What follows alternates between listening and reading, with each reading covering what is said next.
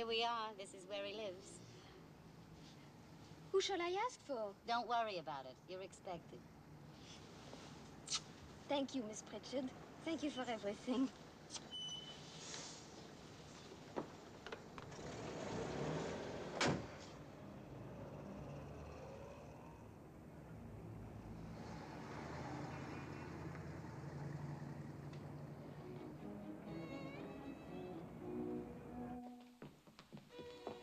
Miss André, Yes. may I take your coat? Wait just a moment, please. As we continue to view this truly remarkable collection of art, one feels more and more a sense of debt toward its donor. Now we come to some of the Impressionists, a group of painters who have always been a subject of great controversy. Their break with the past was viewed with great horror by the academic school, who had for so long reigned supreme in French art. This is a Renoir.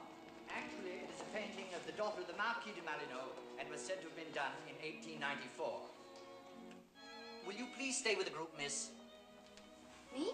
We cannot have people wandering off by themselves. I must insist that you stay with the rest of us. Renoir is famous for his paintings of children, but this is one of his finest. Here we have a Corot. In this painting, the foliage, far more than any signature, proclaims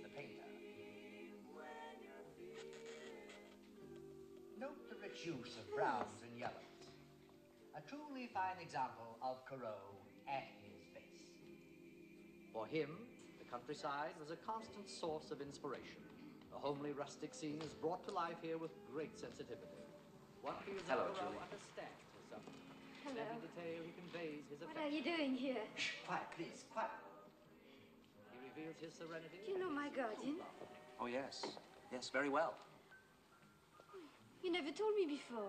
He asked me not to. But I knew you were coming here today, and I had to see him first because there was something very important I wanted to ask him. And now, ladies and gentlemen, as is customary, we can conclude the tour with the Pendleton family portraits. Here we have a portrait of the first Jervis Pendleton, painted by James Abbott McNeill Whistler.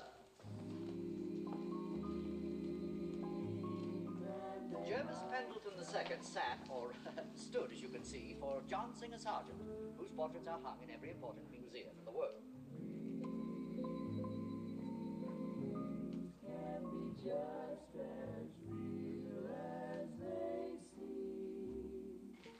This is Jervis Pendleton III, who, as you can see, has broken with the family tradition somewhat.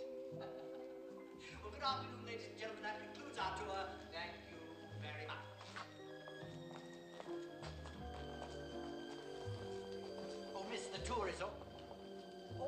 Beg your pardon, sir. Yes, of course, sir. Good day, sir. Tell me, when you saw John Smith, what did you ask him? Since he's your guardian, I felt I should ask his permission before asking you to marry me. Oh, what did he say? He said I'd have to wait my turn, but he wants to ask you himself first. Ah. Why don't you?